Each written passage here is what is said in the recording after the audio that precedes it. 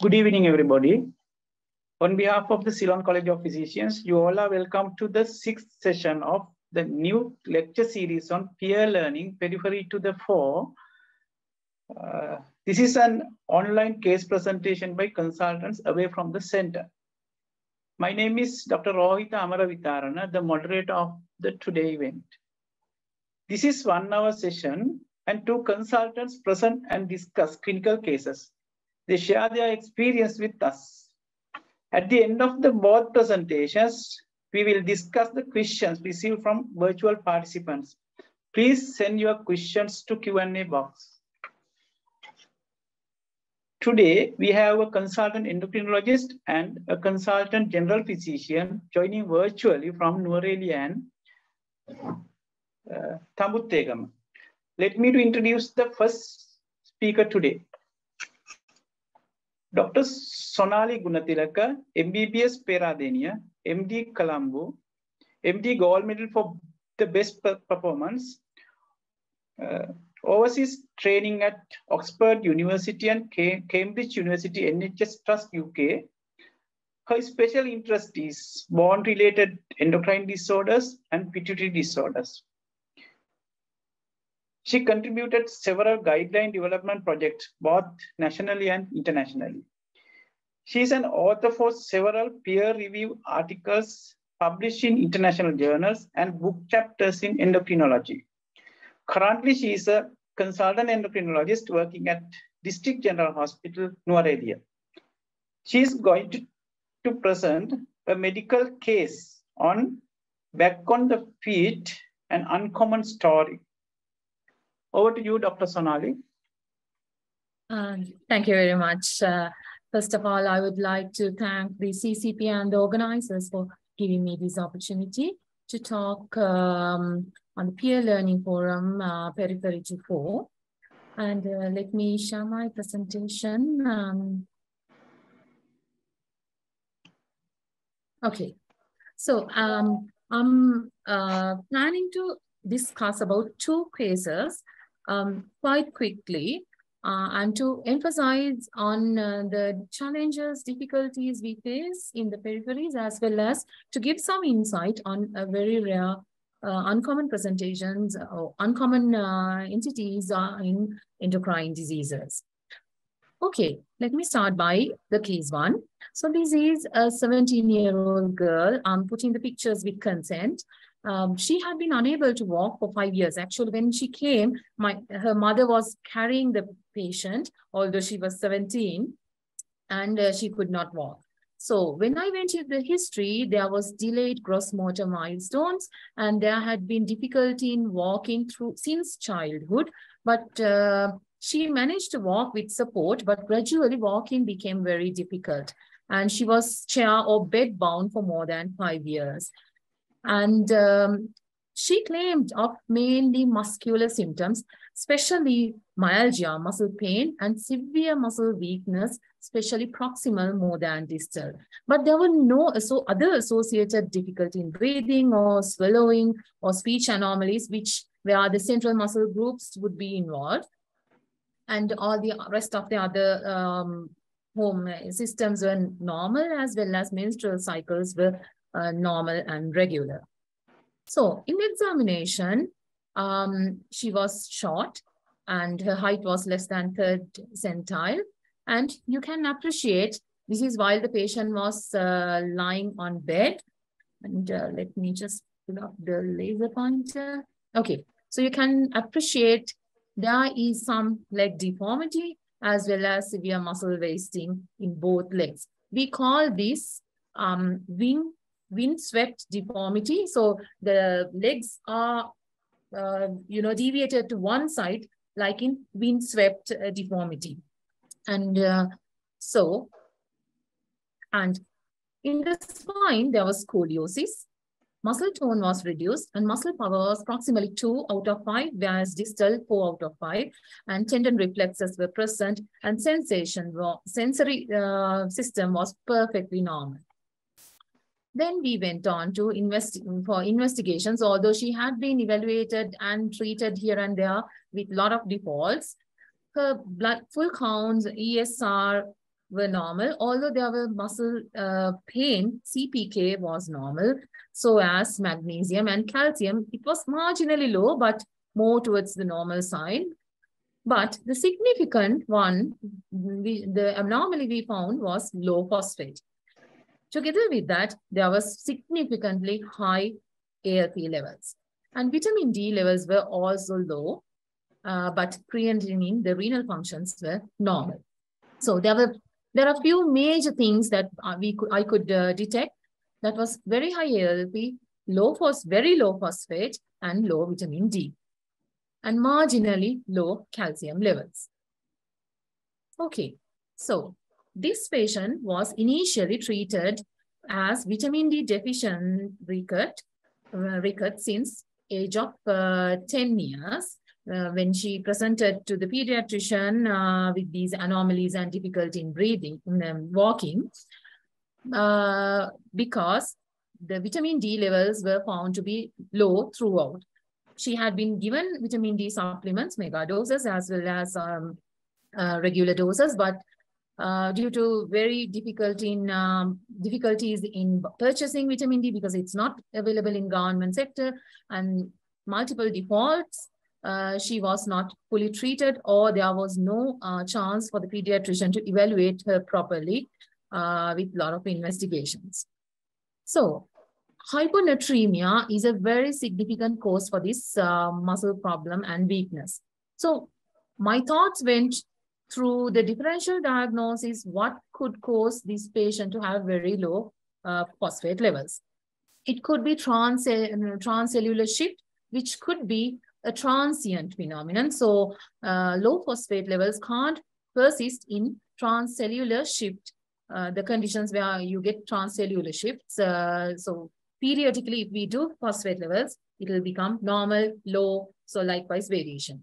It could be due to reduced intake of phosphate, could be dietary deficiency or malabsorption. But unfortunately, this, this patient did not have any of these uh, features of malabsorption or any of the features suggestive of transient uh, transcellular shift. So my concern was mainly uh, targeted on whether is this patient excreting phosphate excessively.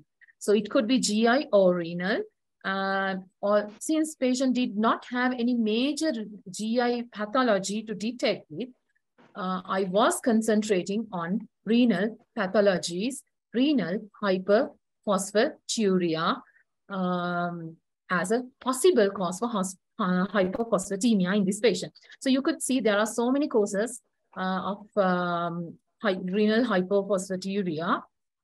And so I went one by one. But before going to that, having this thought of renal hypo, hyperphosphaturia, I performed few other investigations, calcium uh, and phosphate, especially after optimizing vitamin D levels. I have treated her with vitamin D supplementations, mega doses, followed by uh, large doses daily supplementation, and then repeated all these investigations.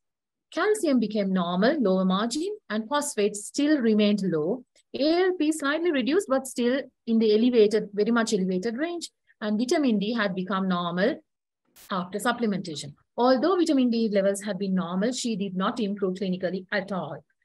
Then PTH levels, we arranged PTH. Unfortunately, we don't have PTH in um, Can uh, Nuwara Eliya. So I had to transfer the patient to uh, Kandy to get the PTH levels. And it had to be a transfer because patient could not walk at all and the patient parents could not afford a vehicle to Kandy, although it's just um, 70 kilometers away. So those are the challenges. Although I wanted to do, it was difficult to get even the PTH level done. So why PTH? Because hyperparathyroidism can cause similar picture of low phosphate, but mind you, that would result high calcium levels. This patient did not have high calcium levels and her PTH levels were normal.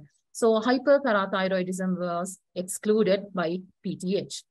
And then we, I performed a special investigation series of investigations, paired serum phosphate creatinine and paired urine phosphate and creatinine to calculate the renal phosphate excretion. So fractionate phosphate excretion was 50.9%. Above 20% is thought high, and that indicates that this patient is losing phosphate through her urine. And all these investigations confirmed, the calculations confirmed that she has renal phosphaturia. So she's losing whatever the phosphate she takes through uh, the kidneys. What are the differential diagnosis for renal hyperphosphaturia? So hyperparathyroidism was the initial, the commonest one, but having low normal calcium and normal PTH excluded the possibility. She was not on any medications to cause renal hyperphosphaturia. And there was no gross renal pathology to cause any tubular defect. Grossly, her scans were normal, creatinine and UFR were normal. Then the problem came, is it kind of a Fanconi syndrome where proximal tubular defect is there, uh, which could be acquired. Uh, but this patient did not have any features of Fanconi like hypovolemia and the ABG was normal. There was no um, acid-base disturbance. Potassium was normal in this patient. Usually Fanconi's patients do have hypokalemia and she was not, uh, there was no association with heavy metals. Therefore, I thought this was less likely. And vitamin D deficient rickets uh, was excluded because they were improve at all. So having the history of uh, symptoms since childhood, then that prompted me to think of any inherited cause such as D resistant or hyperphosphatemic rickets. To diagnose this, we need ideal 120 GF20 um, hormone and uh, both of them were not available. And family history was not present in this girl and uh, I could not have done, I couldn't do any genetic uh, studies uh, here in Nuwara Eliya or even uh, um, in the country and patients could not afford that. But I thought it was likely in this patient to have hypophosphatemic rickets. Okay, so what happens in inherited hypophosphatemic rickets? So if you concentrate on this um, picture, uh, PHEX and DMP1 are the genes which are responsible for production of something called FGF23. So this green one is something called FGF23, which is a paracrine kind of a hormone. It's kind of a hormone which is responsible for phosphate balance in humans. Okay, FGF23 secreted from bones come and then act on the proximal tubule of the kidneys and they are responsible for titration or uh, handling the urine phosphate excretion. So usually urine, the phosphate in the urine is reabsorbed by the uh, sodium phosphate transporter. So usually what happens is phosphate is reabsorbed. FGF23 kind of suppresses this reabsorption. So, and it comes to a balance in normal physiology. Somehow, if this FGF23 is in excess due to many causes, it can block this reabsorption. Therefore, urine phosphate excretion will be high. Therefore, patient will have hyperphosphaturia, so excess phosphate in the urine.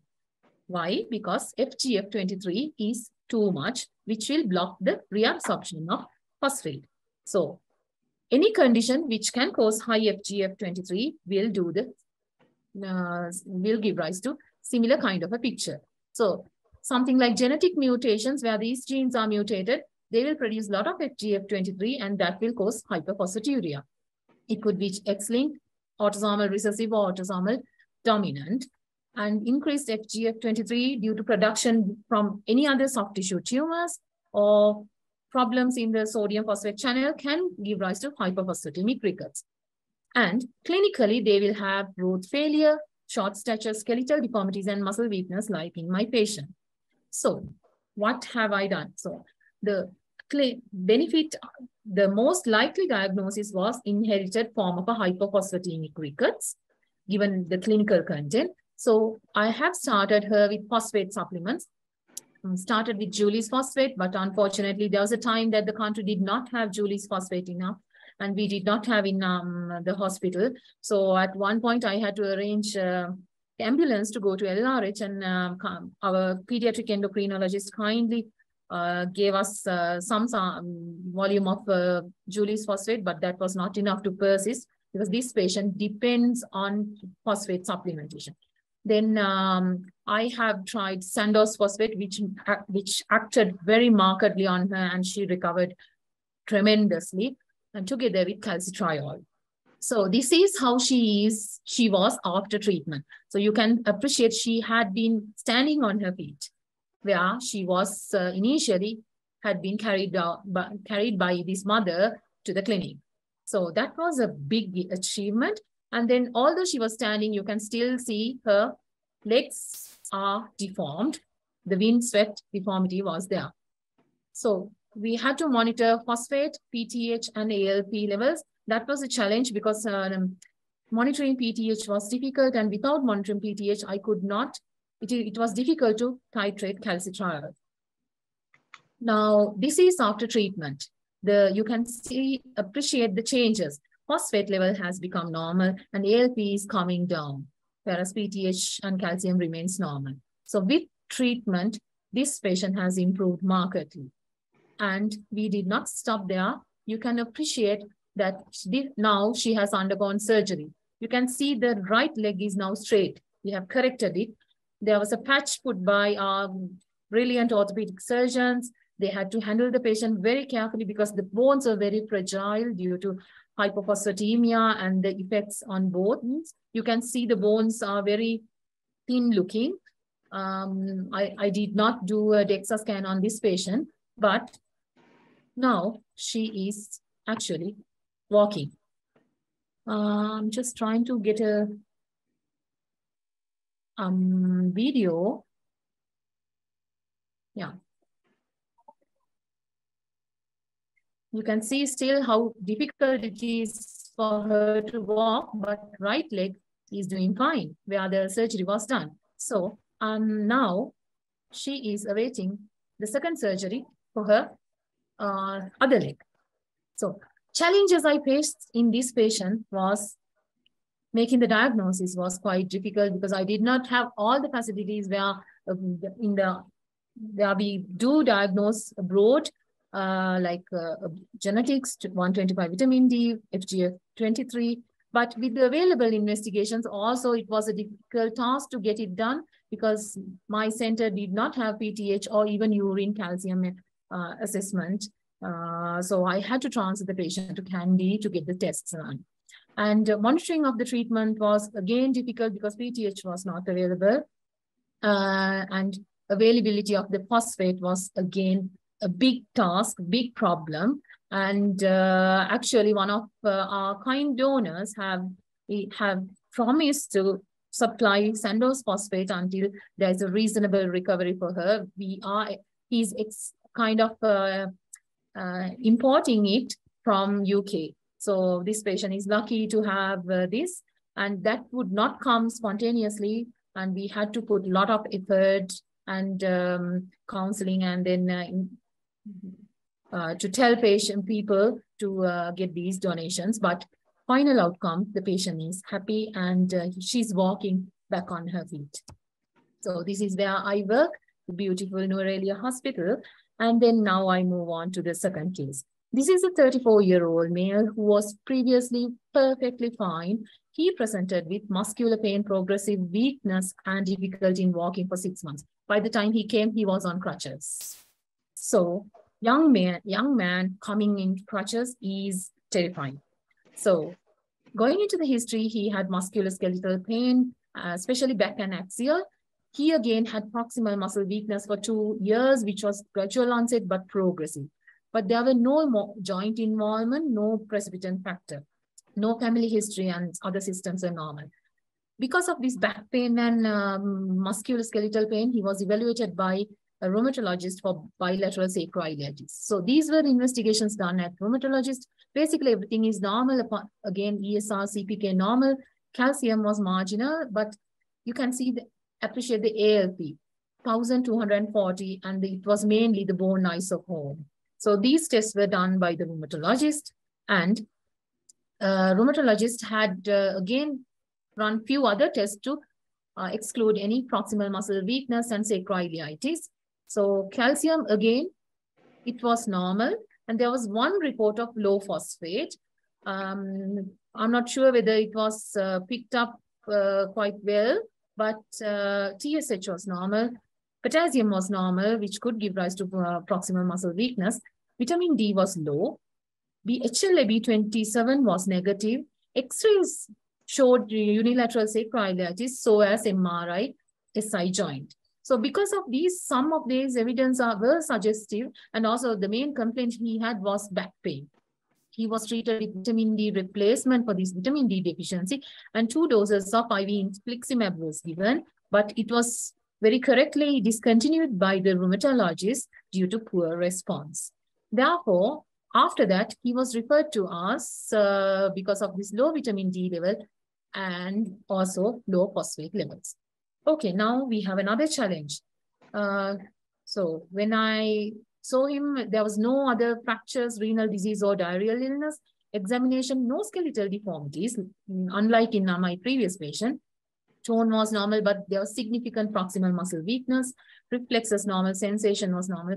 But I could not even examine the patient because it was so tender. He was in pain because of the musculoskeletal pain. And then, uh, so again, investigations at endocrine clinic, ALP high and low phosphate was again low in this patient. PTH was normal and DEXA scan was done on this patient, which showed a very, very low BMD for his age. So again, I have a patient, young, previously healthy male with severe muscle weakness, proximal more than distal and musculoskeletal pain with low phosphate and high ALP, normal calcium, normal PTH, and having features of osteomalacia.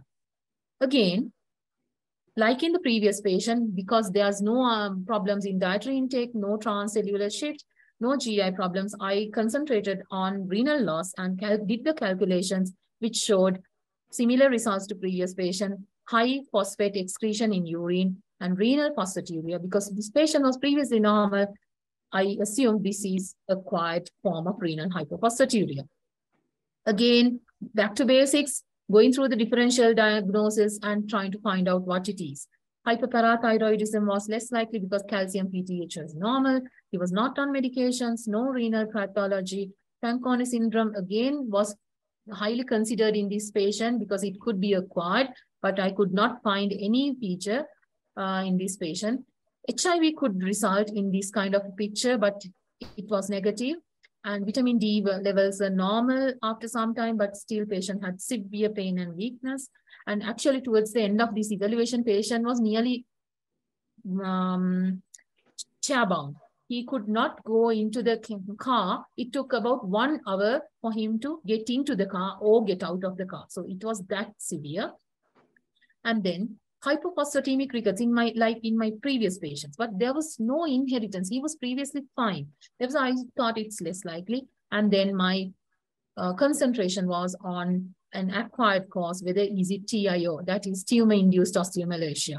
So you could see that in renal pathologies, if we can exclude the congenital ones and the other, other less likely causes, you can see oncogenic osteomalacia or tumor-induced osteomalacia is, a, is, a, is an acquired cause of renal hyperphosphaturia. Luckily, this patient could afford, unlike my previous patient. Although in the peripheries, we talk about less facilities, if we tell the importance, this patient was willing to pay and then get these things done. And these were not available in Sri Lanka. We had to um, arrange the samples to be sent out of the country and do this.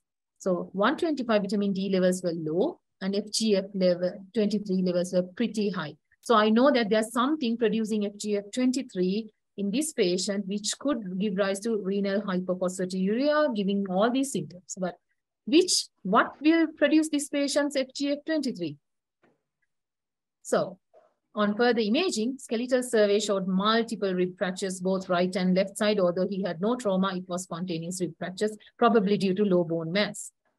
Then, since we had no clue or he had no symptom in his body to give any clue, we went for a PET CT scan, then found to have a mass in his ethmoidal air sinuses, which was very vascular. So this could be the reason which a mass producing FGF23, uh, which could result in all these symptoms. Okay, so the diagnosis was made as tumor-induced osteomalacia. Initial treatment was the basics, replace the phosphate. So we used Sandoz phosphate and calcitriol, and then complete excision of the ethmoidal tumor uh, was performed by the ENT surgeon, and the histology came as phosphaturic mesenchymal tumor. And you can appreciate how he progressed. A young man who was about to be bedbound with excision of this tumor and correct diagnosis, his phosphate, you can appreciate how the phosphate level has improved. ALP has become normal after one year. And then phosphate excretion had become normal even after one month of surgery. And then DEXA became normal. So DEXA and ALP takes time, but phosphate level becomes normal immediately in weeks, several weeks, sometimes in even one week. So this was a life change in this patient. Um, if not done, then he would have been in a great difficulty. So having the correct diagnosis does help uh, patients as well as save lives. So just a word about tumor-induced osteomalacia. We call TIO. It is a very rare uh, form of uh, diagnosis, and it's about 1,000 cases reported worldwide. And it is a debilitating illness, make patients immobile, immobile and bedbound, and ultimately lead to death. And uh, the tricky thing is it's very difficult to diagnose. There's a usual delay, roughly about 2.9 years, because the symptoms are very vague. And if you are not sharp enough, it might take many, many years um, to diagnose. And it is commonly mistaken as spondyloarthropathies due to non-specific presentation. And these tumor cells do produce high FGF23 levels, and FGF23 directly affects the musculoskeletal system uh, as well as indirectly, it causes renal hyperphosphaturia, low phosphate levels in the body, ultimately causes musculoskeletal symptoms. Now, you can see in this, in my patient, FGF23 had become normal after four weeks following the surgery. Uh, so again, it proves the FGF23, the, um, the concentration and the musculoskeletal uh, association. Okay, so I have tried to uh, concentrate on rare forms of uh, musculoskeletal disorders where endocrinologists uh, play a big role. And uh, correct timely diagnosis amidst a lot of uh, difficulties in peripheries uh, do help patients and save lives. And this is from my from the surroundings of beautiful Nuwara And the photo courtesy goes to one of our surgeons, Dr. Bimal Jayasundara. Thank you.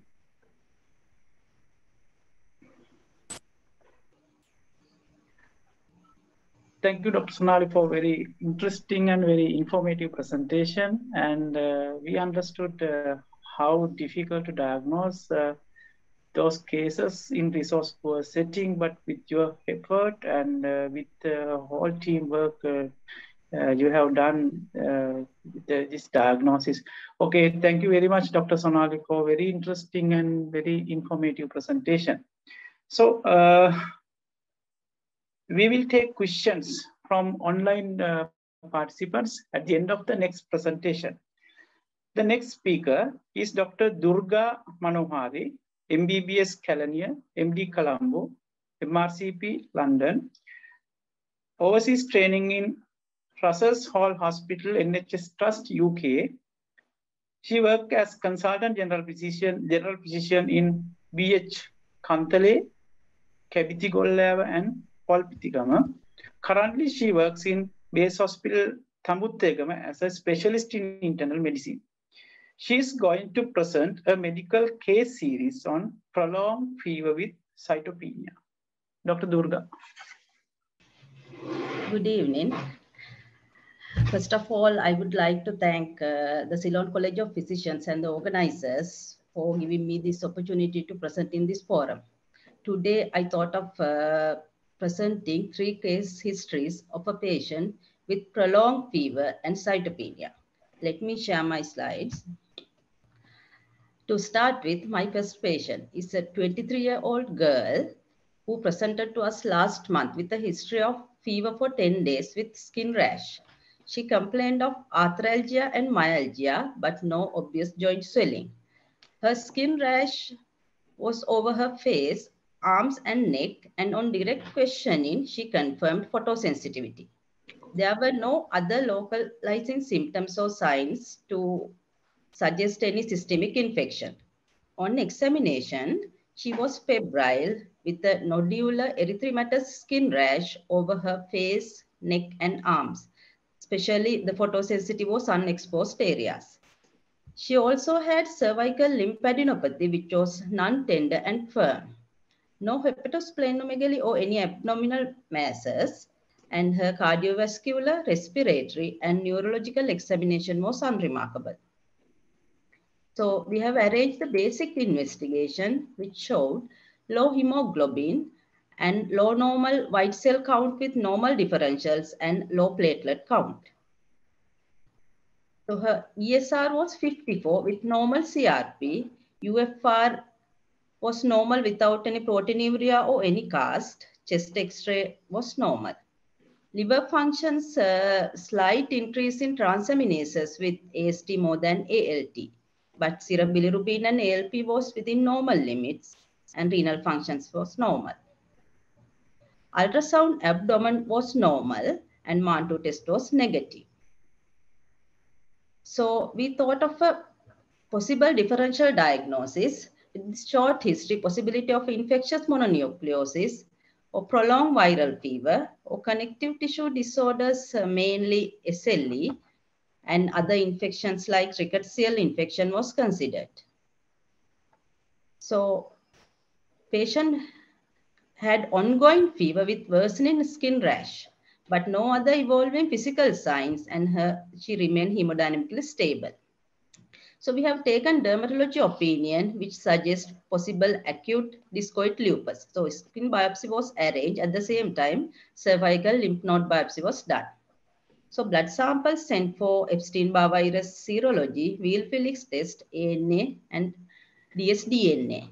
Usually we have to send these samples to either MRI or private sector, which takes nearly one week for us to get the report. So meanwhile, we were monitoring the patient closely and we have arranged serial full blood count, which showed rapidly evolving pancytopenia within five days duration. Her inflammatory markers, renal function and liver function remain unchanged. So because of pancytopenia, we have arranged the blood picture which revealed pancytopenia without any evidence of microangiopathic hemolytic anemia. It has suggested that possible viral etiology, but autoimmune diseases has to be excluded in view of normal ultrasound and renal and liver function test. If persisting, bone marrow examination was suggested. So Coombs test was negative, excluding the possibility of autoimmune hemolysis and coagulation studies was normal.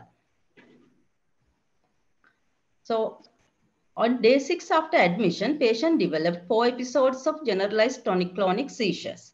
On examination, there was no neck stiffness, no focal neurological signs. Patient remained hemodynamically stable. The metabolic screening was normal, including blood sugar, serum electrolytes, and serum calcium. So we thought of a possibility of SLE with neurological involvement or any other pathology because uh, we haven't received our investigations at, at that point. So after the discussion with rheumatologist and dermatologist, we thought of managing this patient with the working diagnosis of SLE with CNS involvement because by that time she had uh, possible discoid lupus, photosensitivity, cytopenias, neurological involvement, and awaiting ANA and dsDNA reports. So four out of 11 criteria for SLE was fulfilled. So we have started her on intravenous steroids because her septic screening was negative. But we had to transfer this patient to a tertiary care center because we couldn't uh, arrange the other investigations. The patient was handed over to teaching hospital Anuradhapura. Later on, we received the skin biopsy report, which revealed lymphocytic vasculitis, saying SLE is a possibility. And the lymph node biopsy, also necrotizing lymphadenitis, possibilities were SLE, drug reaction, and Kikuchi lymphadenitis. Then later on, the investigations requested by us arrived. Unfortunately, ANA and dsDNA was negative, though we have managed this patient as SLE with CNS involvement. A Epstein-Barr virus serology was positive, suggesting recent infection. So SLE was excluded. Then our question was, is it only infectious mononucleosis or some other pathology? Patient had fever, cervical lymphadenopathy, skin rash, seizures, and cytopenia, which of course can be there in infectious nucleosis, infectious mononucleosis. But regarding cytopenia, most commonly in infectious mononucleosis, we get autoimmune hemolytic anemia. So autoimmune cytopenias, but in this patient, Coombs test was negative. So further investigation was arranged in uh, TH Anuradhapura, which revealed high serum ferritin, high serum triglyceride level with high LDH. So bone marrow biopsy was arranged but uh, they had to wait for one week because this patient was started on steroid initially. So after one week, bone marrow biopsy was arranged, which confirmed the histologic evidence of hemophagocytosis without any abnormal cell infiltrate. So the diagnosis of hemophagocytic lymphohistiocytosis or HLH secondary to Epstein-Barr virus infection was made in vivo fever, rapidly evolving cytopenia, high serum triglyceride level, serum ferritin level was high and histologic evidence of hemophagocytosis. So patient was managed with corticosteroids and supportive management with complete remission. So I thought of uh, presenting two other case histories which I have come across during my, my previous appointments. So case 2 is a 21 year old university student presented to us with a history of fever for four days with skin rash. Patient initially had myalgia with low grade fever for three days and on day two, he has developed vesicular rash, which was diagnosed as chickenpox or varicella infection from the OPD and started on acyclovir. Fever settled after 24 hours and patient was feeling well. Then patient started fever again on day 10 with abdominal pain and vomiting, but no other localizing symptoms. So on examination on admission, patient was febrile and ill looking. Patient had generalized skin rash, which confirmed to be due to previous uh, chickenpox infection. Cervical and inguinal lymph nodes were enlarged, which was non-tender and firm. Abdominal examination revealed splenomegaly, but no hepatomegaly or any other masses, but tenderness over right hypochondrial area was noted. Again, cardiovascular, respiratory, and neurological examination was unremarkable. So investigations suggest severe pancytopenia with ESR of 32 and CRP of 12. His septic screening was negative and liver function test showed increased transaminases with AST more than ALT with high alkaline phosphatase and direct hyperbilirubinemia. Renal functions were normal as well as the protein profile. But blood picture confirmed the pancytopenia without any atypical cells and without any evidence of microangiopathic hemolytic anemia. So in view of rearranged liver function test, the viral hepatitis screening was done, which was negative for hepatitis A, B, and C. The HIV screening, Epstein-Barr virus serology was negative. ANA negative, excluding the possibility of some autoimmune conditions. And because pancreatitis was associated closely with the chickenpox, we have arranged serum amylase, which was within normal limit. So what could be the diagnosis. This patient is having fever, splenomegaly, lymph node enlargement, cytopenia with dearranged liver function. Again, the possibility of HLH was considered. Then serum triglyceride level was high, very high serum ferritin level, and bone marrow biopsy showed increased hemophagocytic activity. Then the diagnosis was HLH secondary to varicella zoster infection. This patient was also managed with corticosteroids and supportive treatment. Patient was started on intravenous dexamethasone. Fever settled within three days and liver function improved over a period of two weeks. So I will move to my third case history. She is a 59 year old patient presented with a history of fever for three months duration. Initially, she had very low grade fever, but two weeks prior to the admission, she had experienced high grade fever with chills. It was associated with documented weight loss and anorexia. She also complained of exertional dyspnea, which worsened gradually, but she denied any symptoms of uh, any systemic infection and there were no close contacts with pets and no recent travel. On examination, she was febrile on admission. She was pale and icteric, but no clubbing, no other peripheral stigmata of infective endocarditis or skin rashes. Abdominal examination revealed splenomegaly, but no other palpable masses or hepatomegaly. Again, respiratory, cardiovascular, and neurological examination was normal. So basic investigation revealed bicytopenia with low hemoglobin, normochromic normocytic pattern with normal white cell count and low normal platelet count. With, within one week, patient de developed rapid decrease in platelet count with decrease in hemoglobin, but white cells remain normal. Inflammatory markers, ESR was high 130, CRP 45. Again, liver function. Her transaminases were within normal limits, but alkaline phosphatase was very high with direct hyperbilirubinemia again. Serum protein was normal with normal renal function. So septic screening was negative. And in view of uh, dearranged liver function, hepatitis screening was done, which was negative. HIV screening negative. Epstein-Barr virus and mycoplasma antibody test were negative. NA was negative and Mantoux test was negative, excluding the pos some possibility of connective tissue disorders and other possible infections.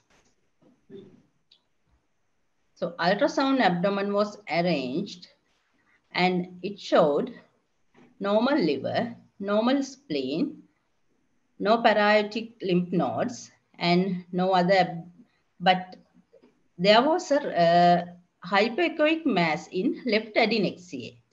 We thought of a possibility of uh, ovarian malignancy, but CA125 was within normal limit.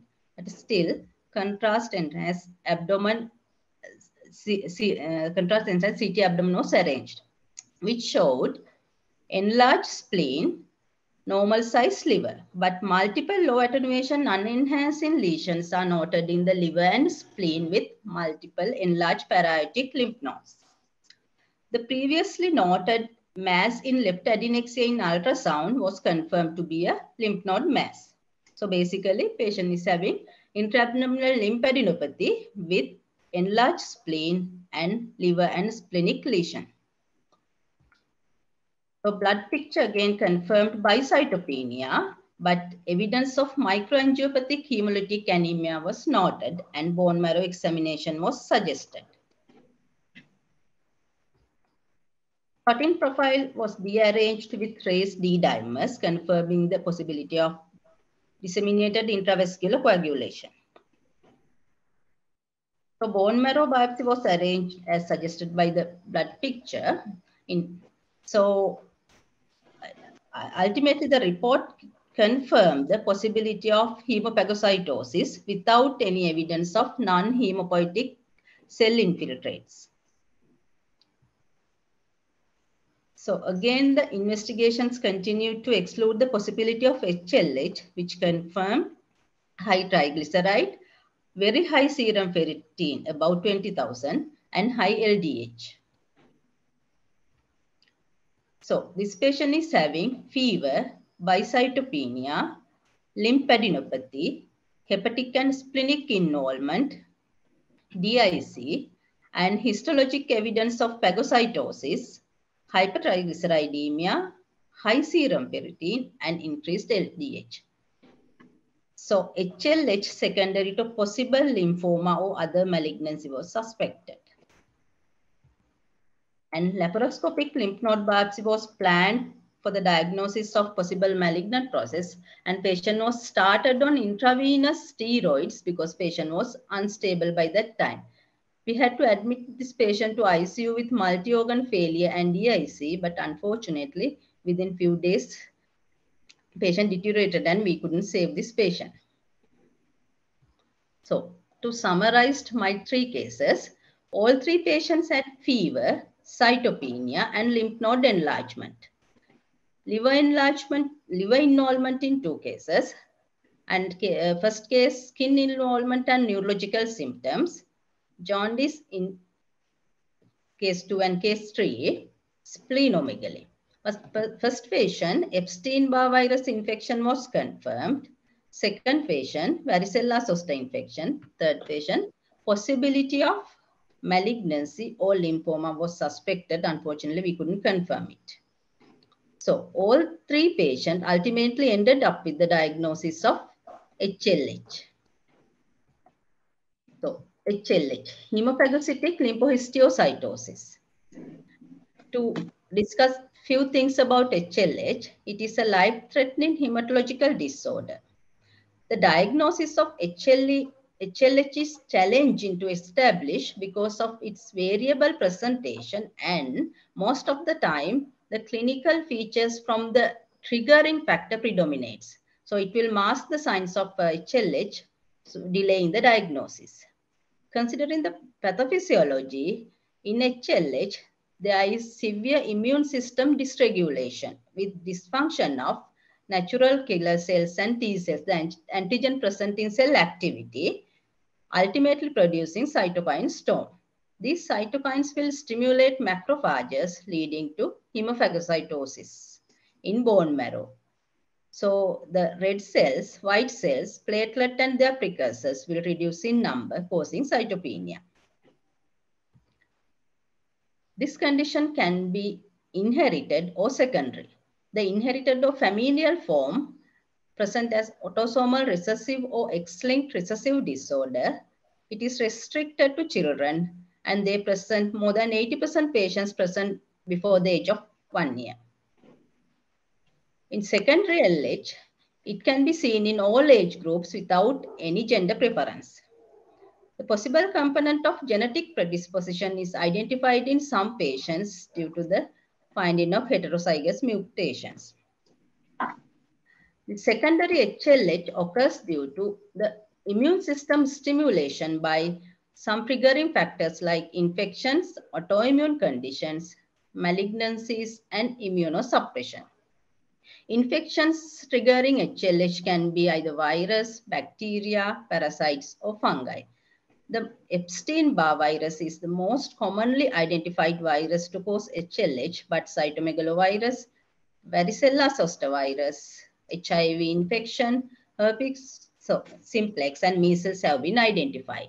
The bacteria such as Brucella, tuberculosis, and some gram-negative bacteria. Parasites like Leishmania, malaria, and Kala-azar identified as most some uh, association with HLH. Considering the autoimmune disorders, SLE, juvenile idiopathic arthritis, the juvenile Kawasaki disease is identified with HLH.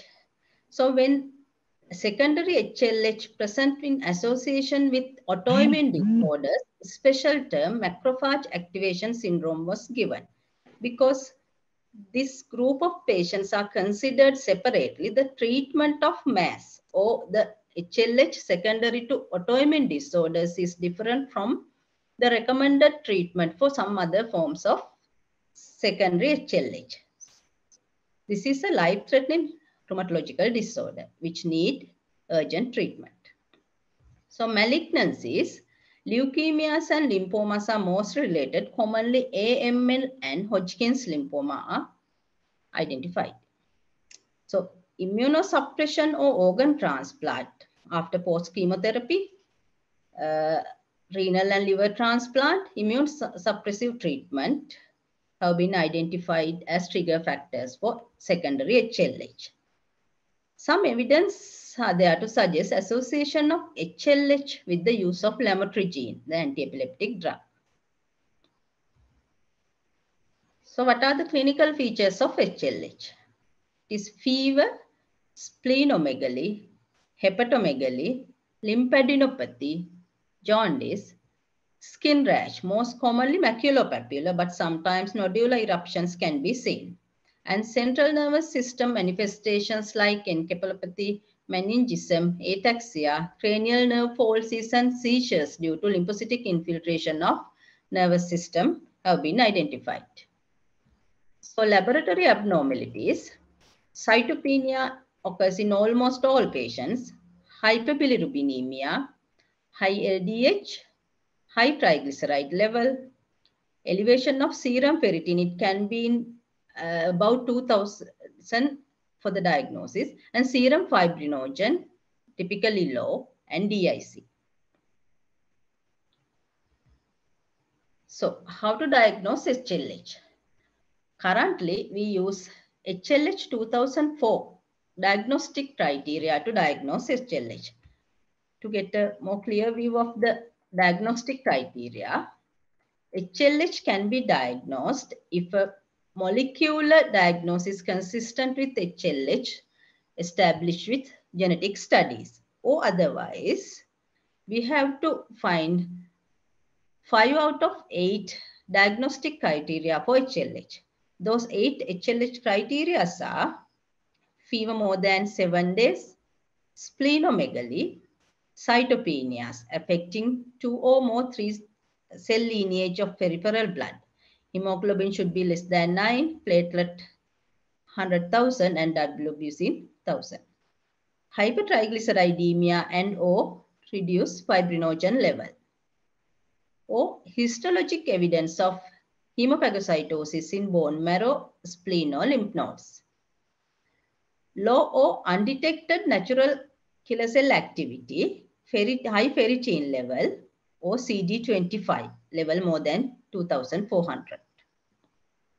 Those are the diagnostic criteria. So we have to full it uh, to diagnose HLH, either molecular diagnosis or five out of eight diagnostic criteria has to be fulfilled. So histologic diagnosis of hemophagocytosis. Hemophagocytic activity can be seen in bone marrow, spleen, liver, enlarged lymph nodes, and cerebrospinal fluid. But demonstrating hemophagocytic activity in these tissues per se is not sensitive enough to diagnose hemophagocytosis because hemophagocytic activity can be seen in sepsis, myelodysplastic syndrome, after blood transfusion, hemopoietic stem cell transplant, and post-chemotherapy. So with hemophagocytic activity, other criteria has to be fulfilled. So other features supporting HLH diagnosis that are not part in HLH 2004 criteria include high serum bilirubin level, hepatomegaly, transaminitis, which is present in vast majority of patients with HLH, elevated LDH, and raised D-dimer levels.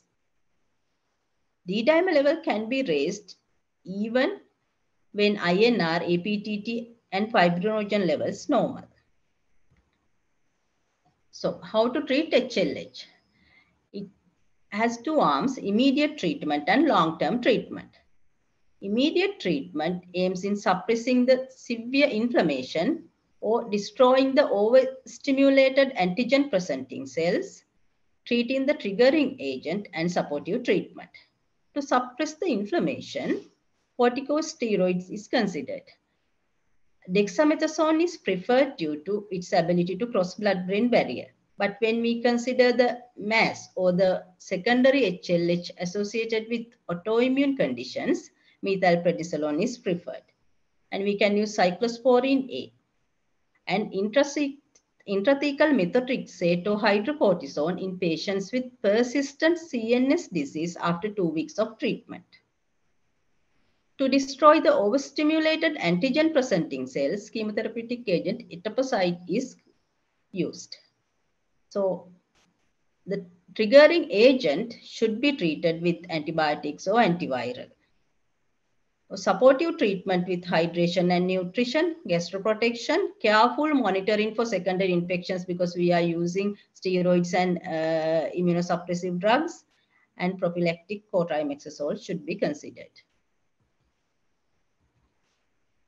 The role of intravenous immunoglobulin in the treatment of HLH is not very clear. There are no strong evidence to suggest uh, any rem remission after intravenous immunoglobulin in all patients with HLH. But in patients with underlying immune dysfunction, the in star, uh, intravenous immunoglobulin has shown some remission. Acyclovir does not appear to be useful in treatment, of Epstein-Barr virus associated HLH. But uh, HLH associated with other viral pathogens, the antiviral chemotherapy has been reported to induce remission. So long-term treatment, allogenic hematopoietic stem cell transplant is the curative treatment. Bone marrow transplantation should be considered if remission is not attained by eight weeks of chemotherapy and immunotherapy. So this is the summary of uh, the management pathway which I have discussed already. So thank you. That's all.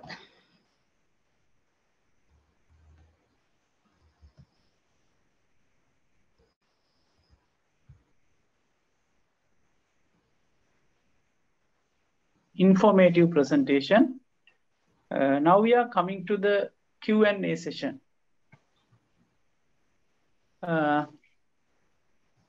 yes, we have one question in Q&A box.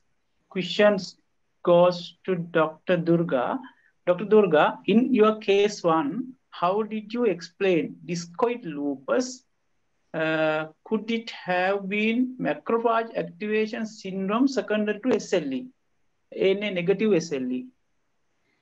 Yes, it is a possibility, but uh, patients ANA was negative, double-stranded DNA was negative, complements within normal limit, and all the other antinuclear autoantibody profile was negative. Okay. So, but Epstein-Barr virus serology was positive. So we thought of SL is less likely and it is a IMN induced secondary HLH. But initially we were misled by the clinical presentation and the skin rash, but ultimately uh, turned out to be IMN associated HLH. Thank you, Dr. Durga. And may I ask a question from Dr. Sonali?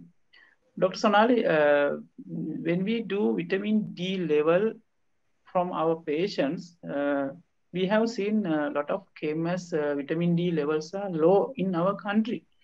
And that is uh, one of little bit my experience. And is it very common uh, findings in our population and what is the common cause? Yeah, actually, um, clinically, even I find it uh, surprising a lot of reports that we get uh, show that uh, patients are vitamin D deficient. Yes. So there are a few explanations. One is um, now we have not validated all these cutoffs for Sri Lankan population. Mm -hmm. So ideally, if we are to do that, then we need to do calcium, phosphorus, and PTH levels as well as urine calcium excretion and all those profiles together with vitamin D and then validate the norms for Sri Lankan population. So that is something which is deficient in our society and um, medical field, which needs to be addressed quite uh, soon, I guess. And because of that, we can't, I can't tell an exact answer because we don't have any published data or validated results. Second thing is um, now we know we are a tropical country, but still, how many of us do go out and uh, stay in the sun? That is the main source of vitamin D production in and uh, vitamin D um, to our body. So I myself would not do that. So, uh, so likewise, most of us do not get that much of sun exposure uh, to get enough vitamin D as well. So, yeah. and that is the main source. If we take food, the amount of vitamin D we get from the food is uh, not that great as uh, sun exposure. So many factors do contribute, and we see a lot of uh, reports with vitamin D deficiency. Now it had become a trend also, but unfortunately, we don't have enough data to comment on that. But we just have to believe the report and uh, believe the ranges until we kind of uh, validate our, our values, Sri Lankan values, um, scientifically. Thank you very much, Dr. Uh, very much for that answer. And uh, now we have come to the end of the sessions today. Uh, first, let me to thank uh, two speakers today, Dr. Sonali and Dr. Durga, for very, very informative and ex excellent presentations. And also, I would like to thank uh, uh, all online participants for joining with us. And let me to thank CCP staff, AV team, Mr. Nalina, and sponsors, Merck Pharmaceuticals, for their valuable support. Thank you.